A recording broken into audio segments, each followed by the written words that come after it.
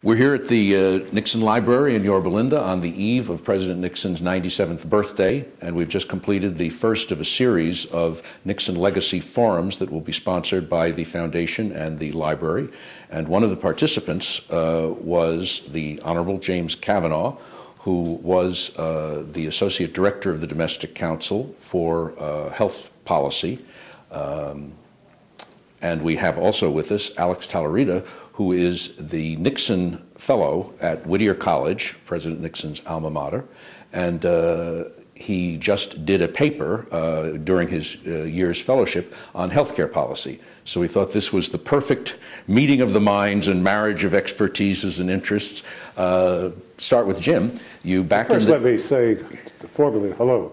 I've read your paper. Someone forwarded it to me a couple weeks ago. It's a terrific piece of work. Thank you very I much. was really glad to see it. Well done. Thanks. Uh, back in the day in 1968 uh, or in 69, you were. Uh, uh, well, tell us where you were and why you wanted to work for Richard Nixon, if you did. Well, I did. I was at uh, Department of Health, Education, and Welfare as Deputy Assistant Secretary. Uh, Elliot Richardson was the secretary, and I was working on some health policy issues, particularly a, piece of health manpower legislation that was sort of tied up in the Senate, and we were trying to work that through. And actually, I was in uh, Elliot's office on a Friday evening about 6:30, and he took a call from the White House nodded up and down a couple of times, hung up the phone, and said, Are you tied up tomorrow morning? I said, Not that I know of. And he said, Would you be at the White House at 9.30 tomorrow morning? A fellow by the name of Ken Cole would like to talk to you about getting some help on developing uh, the president's health plan.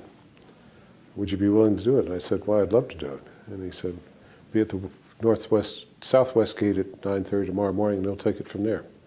And that's how I The arrived at the White House. the rest is history. Yes. Do you remember your first meeting with the president? I don't remember my first meeting with the president. The longer I was there, I of course got to see him a lot more. I do remember a. I, I remember being on a couple of trips. I went on Air Force One to a couple of events that involved some things I had worked on. I do remember a meeting, which may have been the first meeting in the Oval Office, where I got called into a meeting to provide some amplification on a on a proposal that I had put forward for a presidential meeting in Los Angeles. And it was for the president to meet with the uh, officers of the American Cancer Society before their annual meeting at the Biltmore Hotel in Los Angeles. And um, someone from Dwight, uh, Dwight Chapin's office called, asked if I'd come down to the president's office. So I went down and Nell Yates ushered me in. And I'm thinking, I wonder what this is really all about. And Dwight said, President would like to hear a little bit more about this event you've proposed. So I told him what I knew about it. And I remembered saying, and they're going to have da da da da hundreds of people in the audience. And he looked at me and said, Well, you know, the bowl, the Biltmore Bowl at the Biltmore, only holds 483 people. And I may have said 504. I mean, it was, and, uh, and that, I, it's the first recollection I recall. Not the first time I saw the president. I uh, was in college and went to a local rally at a local movie theater and one afternoon in a town called Morristown, New Jersey, in North Jersey, when he was out campaigning for his second term as vice president during the Eisenhower administration. You uh, talked about the, uh, in the forum, uh, you talked about the, uh, the Nixon healthcare policy that failed passage, as Alex has done some study of this. Can you sort of give us uh, uh, an, overview of would have, could have, what you know, what would have been and what could have been, and what, what's what uh, because it isn't what we're going through today? Well, that program, if enacted, would have fixed the problem, in my view, and it had a very good chance of being enacted. The president was quite serious. The instruction he gave to Cap and to be about this what he was wanted. Cap Weinberger. Yeah, and what he wanted was a program that would meet the test be public and private, cover the people that needed coverage. Yes, would provide a mandate, and he was willing to accept that, but he wanted it uh, done in such a way that it would pass the Congress. And, and Cap, and we talked back and forth, and Cap had a great working group within the department and they put together a program. Came over, uh, helped Cap a little bit with a decision memo that, you know, they, we typically do. Cap had done most of it. We provided some refinement to it. When in the present, he checked off the boxes of what he wanted and what he didn't want. And we were to go to the program, and it was in the 1974 State of the Union message, and the actual message with the health bill went up about 10 days later. And um, it got off to a very good start. And then what? Then it came a cropper. Well, um, what happened was that Kennedy, who was at least providing lip service to the fact that he wanted to cooperate with Mills over on the House side, and we believed, and the people we had as emissaries talking back and forth to his staff, felt that he was moving ahead with it until he had the meeting with the presidents of the uh, key unions, Andy Biemiller from the AFL-CIO, and it wasn't Walter Reuther by then, I, I guess, and it wasn't Hoffa, whoever the UAW president was then. And they said, look, you know, we've negotiated these terms, they're, they're hard, they're fast. We think we can get a better deal.